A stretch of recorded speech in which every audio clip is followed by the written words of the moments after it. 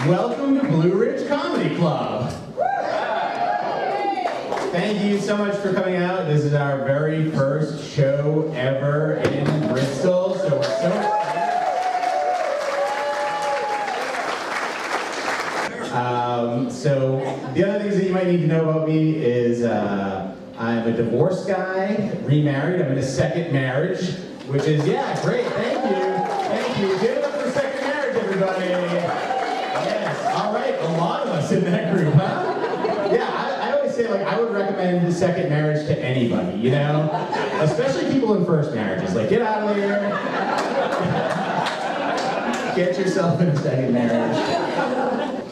You know, and my, my ex-wife, like I didn't come here to, you know, talk badly of my ex-wife. That's not why I'm here. But if I had one complaint, uh, it's probably that she was a little bit controlling. You know, like she's mad at me now because I just changed my name back.